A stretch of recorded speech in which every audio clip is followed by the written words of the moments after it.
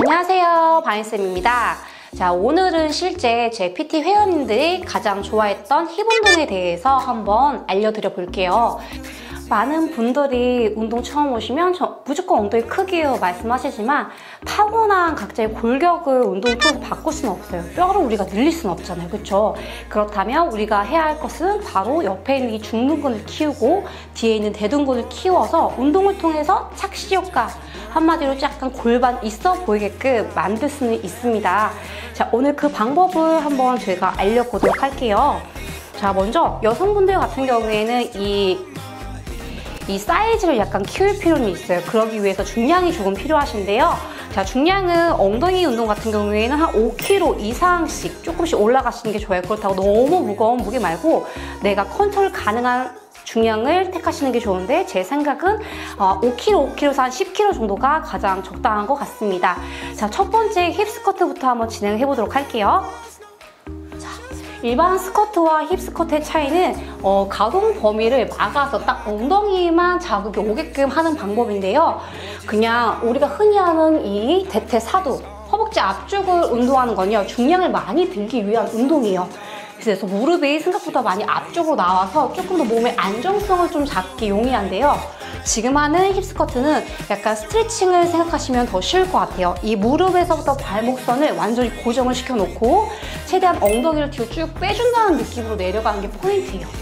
이렇게 보면은 어, 뭔가 스쿼트가 아닌 것 같죠. 스쿼트는 더 상체를 세워야만 할 것 같고 한데 자 내가 코어를 컨트롤 가능한 선에서 허리를 들어 올리면 들어 올릴수록 들고 있는 이 무게 중량과 내 상체의 중량이 엉덩이에 실리게 됩니다. 딱 엉덩이에만.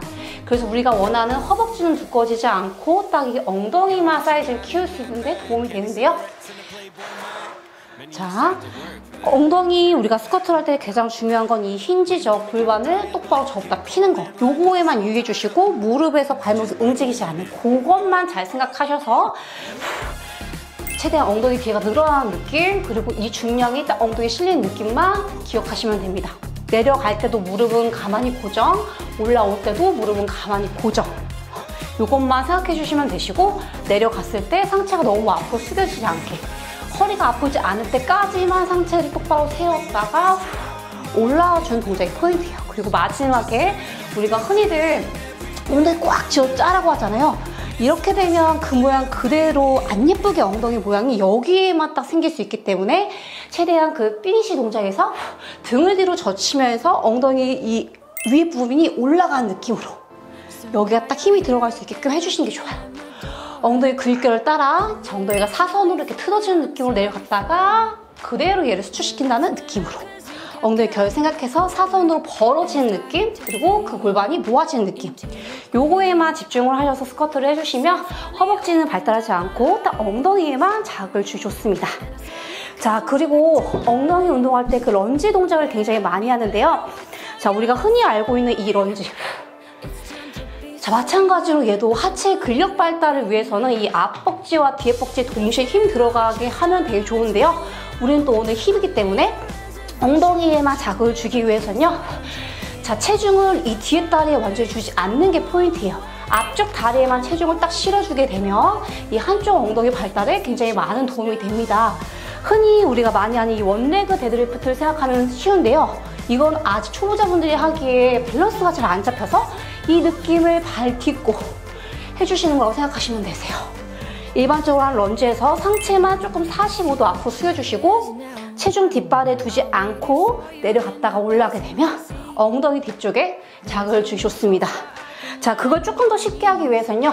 자, 중량을 들고 어, 박스나 이런 벤치에 딱 다리를 고정을 시킨 상태에서 내려갔다가 올라오게 되면 자 뒤에 딸에 거의 힘이 실리지 않기 때문에 딱 한쪽 엉덩이에만 집중해서 키우기에 좋습니다. 마찬가지 반대쪽도 동일하게 벤치 위에 얹고 한 발로 이렇게 왔다 갔다 런지를 해보는 방법도 있어요. 자 이렇게까지 엉덩이를 키웠다면 마지막 마무리로는 stiff deadlift 등과 이 엉덩이 운동이 굉장히 좋아요. 개인적으로는 내려가면서 스트레칭 되는 효과가 있기 때문에 그 허벅지 뒤쪽에 셀룰라이트를 없애는 데도 굉장히 효과가 있습니다. 자, 동작 보여드리면요. 상체를 꼿꼿하게 세운 상태로 둔부에 힘 주시고 멀어지지 않게 압박지를 스치면서요. 이때도 무릎과 발목 고정.